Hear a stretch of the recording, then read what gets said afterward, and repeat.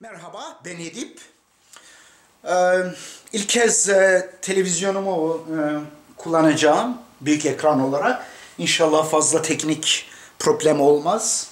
Gerçi ekrana tam sığdıramadım çünkü alttaki pek görünmüyor. Yani biraz uğraştım ama daha fazla detaya girmek istemedim. Onun için artık başlayacaksınız. Ee, beddua ile ilgili konuşacağız. Bu beddua bir bakıma yani cemaat ile AKP, FTP ile TTP arasındaki mücadele bir bakıma güzel. Çünkü bunlar ikisi güce tapan ve alabildiğine istikbar içerisinde e, bir tavır sergilediler maalesef birlikte. Bunlar işte firavuni bir tavır içerisine girdiler. Ama ne oldu? İhtirasları bunları köprü üzerinde karşı karşıya getirdi.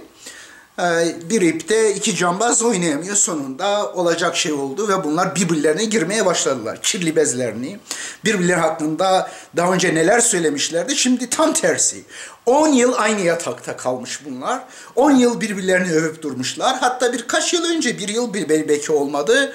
Tayyip Erdoğan diyordu ki gökten ne gelmişse biz kabul etmedik falan onu göklere kadar çıkarıyordu. Öyle bir ifade vardı hatırlıyor musunuz? Çok ilginç. Yani gökte ne yağmışsa biz kabul etmedik diye Fethullah için diyor. Allah Allah inanılmaz bir şey ya. Ben tabii ona cevap olarak bir şeyler yazmıştım. Onu da bir önceki videoda şey ettim. E bu adam da bunlar da birlikte birbirlerini her tel rezaletini savundular. Gezi olaylarındaki o korkunç polisin e, aşırı güç kullanması, uydurdukları yalanlar işte ayakkabıyla girmiş abar girse ne olacak? İnsan hayatı ve halı. Halı daha mı şey? Daha mı üstün? Halınız yerin dibine bassın, caminiz yerin dibine bassın. Eğer o cami halkın camisi olamıyorsa, eğer insanlar hayatları için kaçamıyorsa oraya, yerin dibine bassın o cami. Taşa mı tapıyorsunuz, halıya mı tapıyorsunuz? Neyse, yani burada e, bunları hatırladığım vakitte alabildiğine kızıyorum. Çünkü dinin istismar edilmesi var. İnsanlara zulmetmek için dinin istismarı en büyük zulümdür. Ve o zaman tari, tarikat, marikat birbirlerini kolladılar. E ne, neymiş meğerse? Meğerse bir taraf yolsuzluklarla çalıp duruyormuş ki zaten sürpriz mi? Herkes biliyor bunu. Kendileri de biliyor. Hani yağma. Yani bir iktidar ne zaman ki milli ve dini duyguları istismar ediyorsa o iktidar nedir? O iktidar hırsızlık yapıyordur. Dünyanın her tarafında bu böyle sadece Türkiye has değil. Eğer bir başbakan Allah peygamber falan diyorsa işte ulu büyük atalarımız Fatihler Matihler o gemiyi çıkarttı ben de yerin altında tünelden gidiyorum sanki. Denizin şey, boğazın altında tünel yeni bir bulu yani aya gitmiş gibi bir şeymiş. Dünyanın birçok ülkesinde böyle tünel var. İnşaat. Yani gökdelen, dünya en geri kalmış ülkelerinde bile gökdelenler var. Gökdelenler dikmek, çimento üzerine çimento binalar. Bu yükselme şeyi değil, bu kandırmaca. Ne, ne binalar var dünyanın en geri ülkelerinde. Yani dünyanın en yüksek binası şu anda Amerika'da bile değil. Abu Dhabi'ye gittiniz mi? Mi? Oralarda da bir sürü var. Neyse. işte bu tür şeylerle göz boyamaca. Birbirleriyle birlikteydiler bunlar. Birbirlerini göklere çıkarıyorlardı. İç içe dış dışa. 10 yıldan fazla. E, birdenbire baktım ki o bunlar dış güçlermiş. Demek ki Tayyip iktidarı dış güçlerle 10 yıldan fazladır aynı yatakta menfaat bölüşmesinde dış güçlerle bir yana hiç farkında bile olmadı bunların dış güç olduğu. Birdenbire bu dış güçler sahtekarlıkları, yolsuzlukları ifşa etmeye başlayınca birdenbire dış güç oldular. E dış güç kim? Niye karnından konuşuyorsun?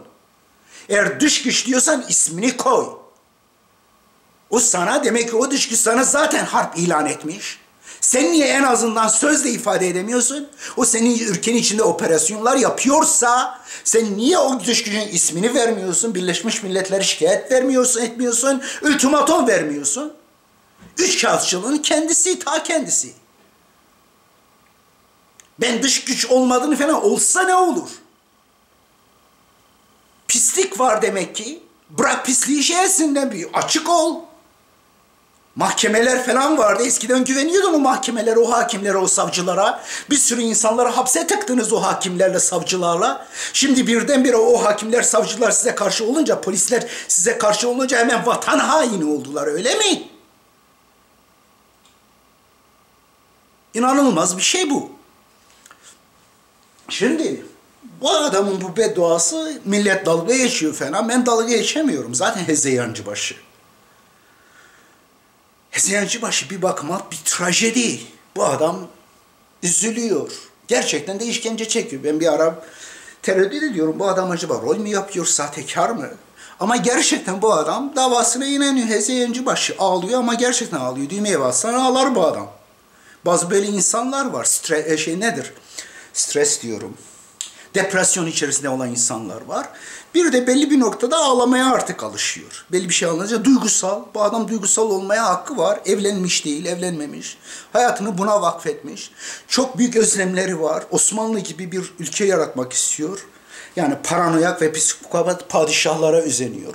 E Fatih şey de Tayyip de psikopat ve paranoyak kardeş katili, köleci, cariyeci, seks düşkünü, yağmacı, talancı, zalim sultanlara yani firavunlara ama firavunun kafasında sarık olursa eğer ismi Türk ismi olursa oldu o bizim firavunumuz maşallah o hazret oluyor.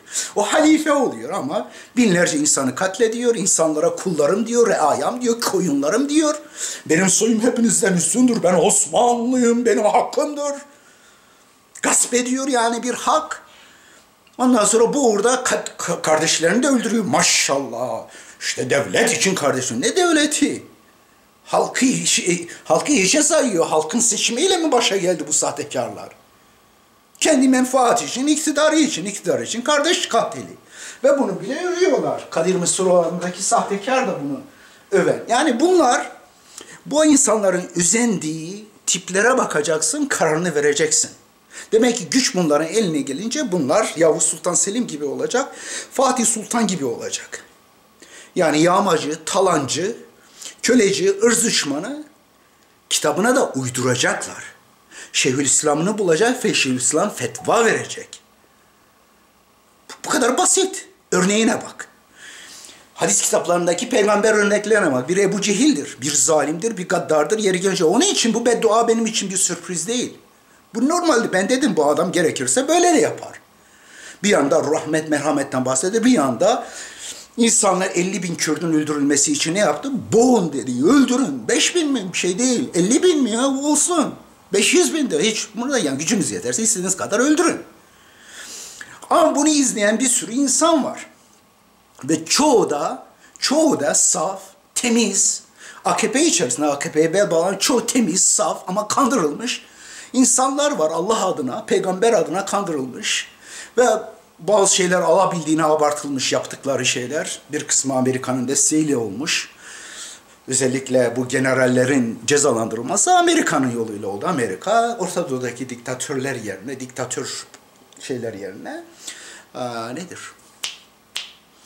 Aa, kuklalar yerine bu sefer demokratik yollarla seçilmiş, desteklediği şeyler, hükümetler, iktidarlar şey diyor, yerleştiriyor. Bütün yaptığı bu eş. Şimdi bunlarla birlikte aynı yatakta 10 yıldan fazladır F tipi cemaat parti ile no özür dilerim F tipi cemaat ile T tipi parti, parti ve pırtı diyebiliriz bunlara.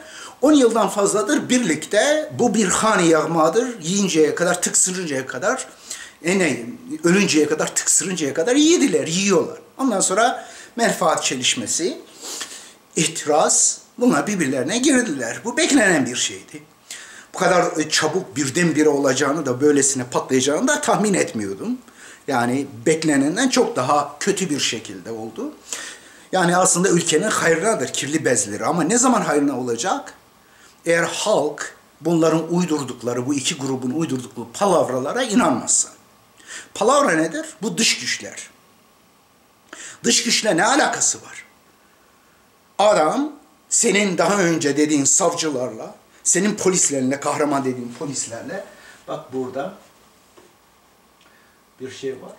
Bak Tayyip amca böyleydi. Önce ne demişti? Ta 2013 yılında, 9 yılında, 2013 yılında. Polisimiz demokrasi testinden geçmiş, adeta destan yapmıştır. Kime karşı olunca? Diğerlerine karşı olunca değil mi? Kullanıyorsun.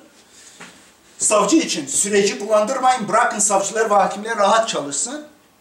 Türkiye'de temiz eller operasyonu yapılıyor, bırakın hukuk işlesin 2009 yılında yargı için. Cemaat için, cemaate kızdığım dört dörtlük iftira bizden ne istediler de vermedik. Ha, vermişsin bunlara istediklerini. Onlar da sizden istediklerini vermişler size. Ne güzel birlikte pislik içerisinde ikiniz de şey hedefiniz neyse, tabii hedef iktidar ikinizin de hedefi de itiraz. Ulaştınız sonradan şimdi birbirinizi kötülüyorsunuz. E şimdi Tayyip Erdoğan sana sormazlar mı güzel kardeşim? Sen demek 10 yıldan fazla uyumuşsun, dış güçlerle aynı yatakta dış güçlere istediklerini vermişsin. Ve dış güç olduğunu o zaman bilmiyorsun he? O zaman cahilin tekisin, hiçbir şey bilmiyorsun. Bunu fark edemediniz mi? İstihbaratınız yok mu? Eğer dış güçse bu dış gücü karnınızdan konuşmayın. İsmini ver bu dış gücün. Amerika ise de Amerika Birleşmiş Milletleri en azından sözle, bildiriyle bir protesto et bunu. Bunu yapıyor musun? Yok. İsrail. İsrail bu olaylar olurken, yolsuzluklar şey derken, olurken ve sen polisleri işlerinden alırken, savcıları, macıları ıı, tehdit ederken ne oldu?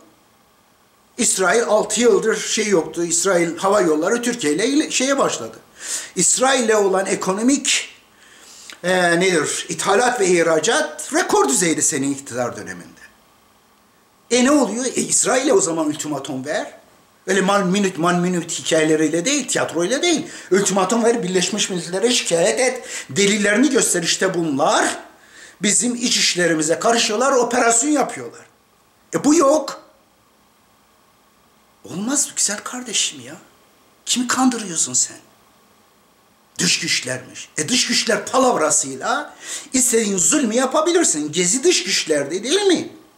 Bir sürü genci, bir sürü insana zulmettiniz, gazladınız, dövdünüz, hakaret ettiniz, iftira da ettiniz. E şimdi bu yolla bu cemaati şey diyorsun, eziyorsunuz. Bir sürü bunların içerisinde kimseye zararı dokunmamış. Sadece cemaate alet olmuş. İnsanı tutup zulmedeceksiniz. Hem de o zulmü hesabını da vermeyeceksiniz. Bu adamı bir dinleyelim. Fethullah'ın bedduasını. Birçok siteyi de kapatmış. Ben bizi de onların içinde görerek diyorum.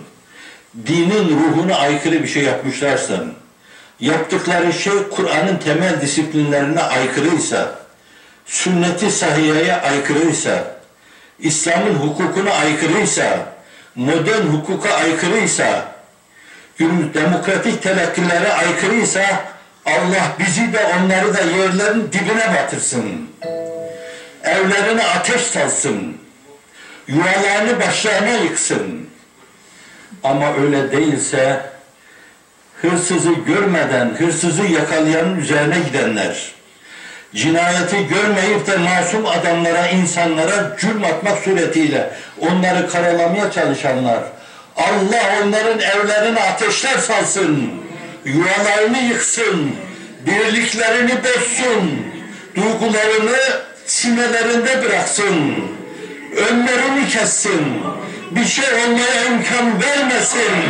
Allahümme ehzimhum ve zelzilhum ve şeddit şemmehum ve ferrik cem'ahum ve mezzikhum kulle mezzak ve la tec'al ba'sehum ve ec'al ba'sehum beynehum ve ansurna aleyhim واجعل بأسهم بينهم وانصرنا عليهم واجعل بأسهم بينهم وانصرنا عليهم يا أرحم الراحمين بحق ذاتك ve bi hakkı sıfatike ve bi hakkı esmaikel hüsna ve bi hakkı ve hürmeti ismikel azam ve bi hakkı ve hürmeti seyyidina Muhammeden Mustafa ve bi hakkı ve hürmeti men lehu şefaatun ve hürmetun indeke ya erhamer rahimin ya zel celali ve ikrami Okay.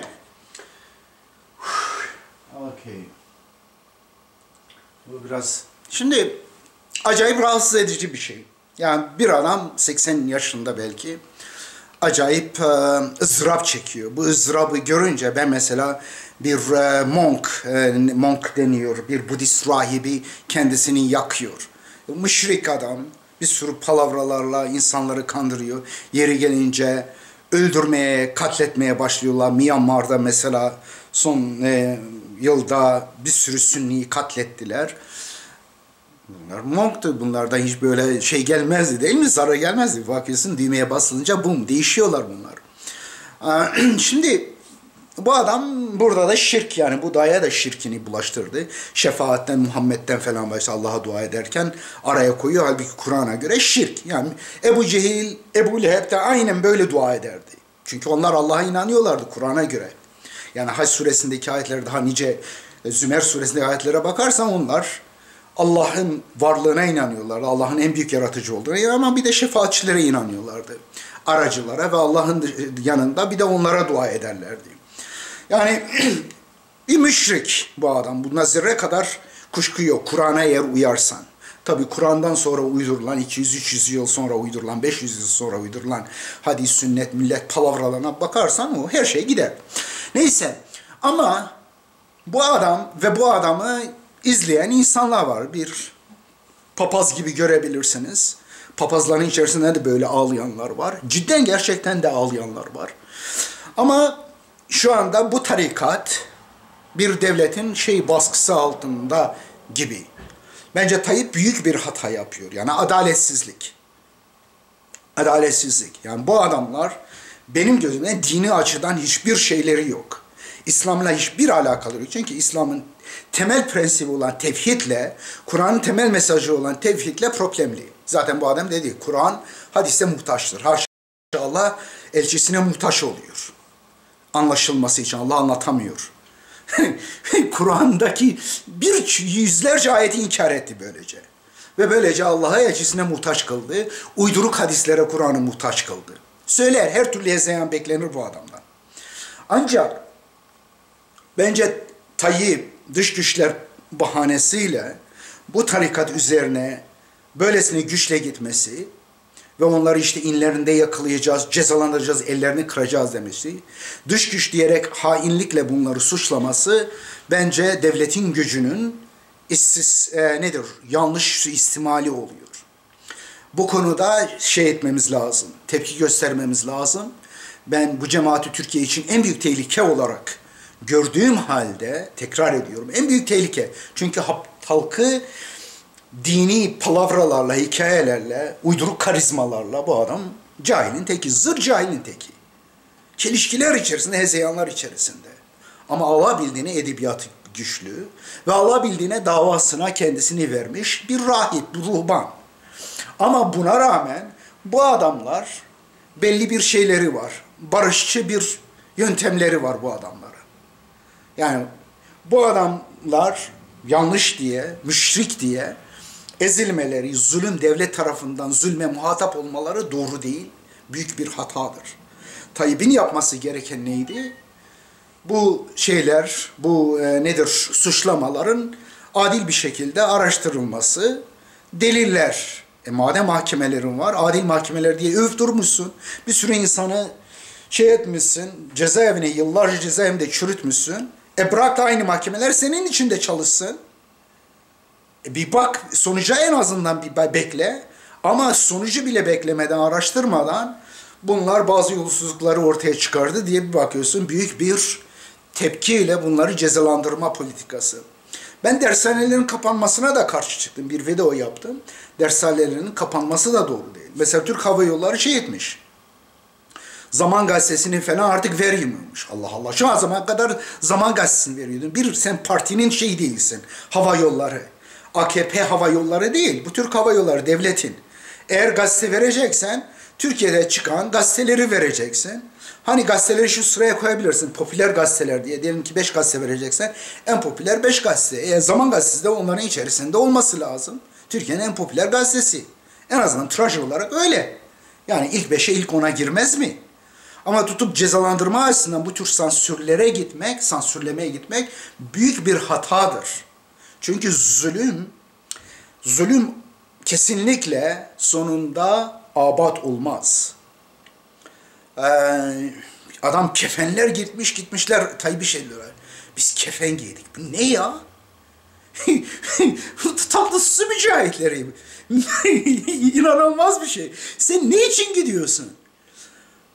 Ayakkabı kutuları dolusu para çalan, ondan sonra o parayı göğe şey için şey etmişler. Aa, o, o parayı niye gizlemişler biliyor musun? Onları hayır için kullanacaklarmış bak bu, bu, burada. Bağış için. İmam Hatip için bağış parasıydı diyor. Sahtekarlığa bak ya. Hakarete bak. Hem hırsız hem de maşallah iyi Müslüman. O yakalandıktan sonra o ben bu parayı niye çaldım? İşte böyle yapacağım. İmam Hatip'e vereceğim. Yani inanılmaz bir şey ya. Yani bu dönemde büyük yolsuzluklar var. İhalelerde alabildiğine kay, e, nedir? Yandaş kollamaları var.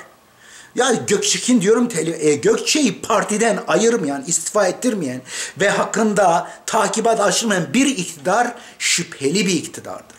Şüpheli değil, suçlu bir iktidardır. Onun telefonla, bakanla telefon konuşmasını işittikten sonra ben Türkiye'deki haberleri öyle tek tek izlemiyorum.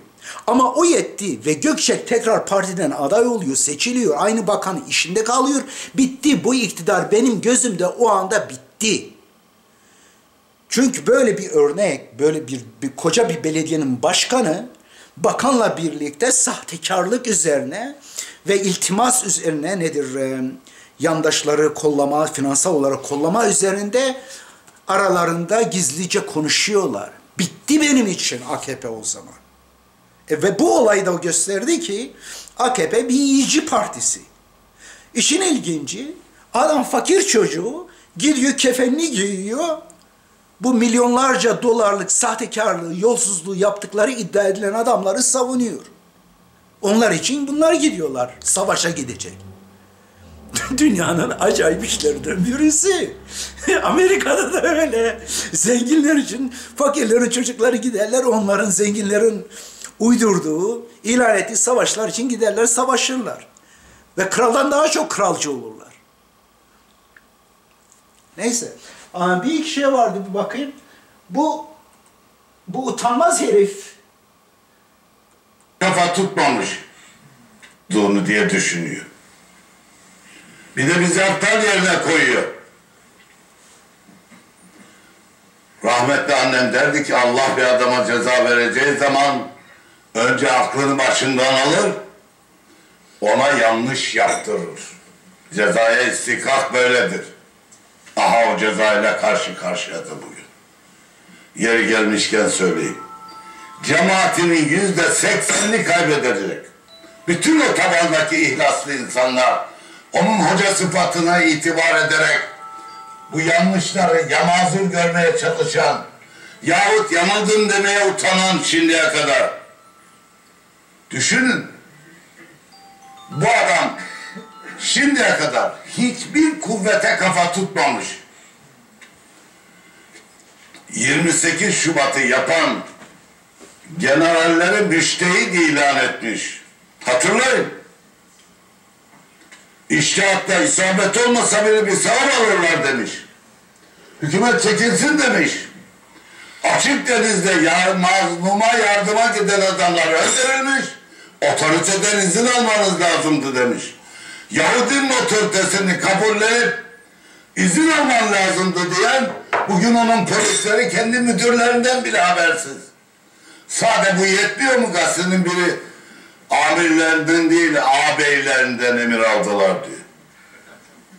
Sade bu yetmiyor mu ne maksatla bu işi yapıldın? Hani sen Yahudinin otoritesine bile saygı duyuyordun da Mavi Marmara'daki öldürülen adamları kusurlu buluyordun. Bunların şehit olmadığını söylüyordun. Açık denizde bile Yahudi'den müsaade alman lazım. Otoriteye saygı lazım diyordu. Yahudinin otoritesi otorite de yüzde ellinin üstünde rey alan bir iktidarın otoritesi otorite değil mi?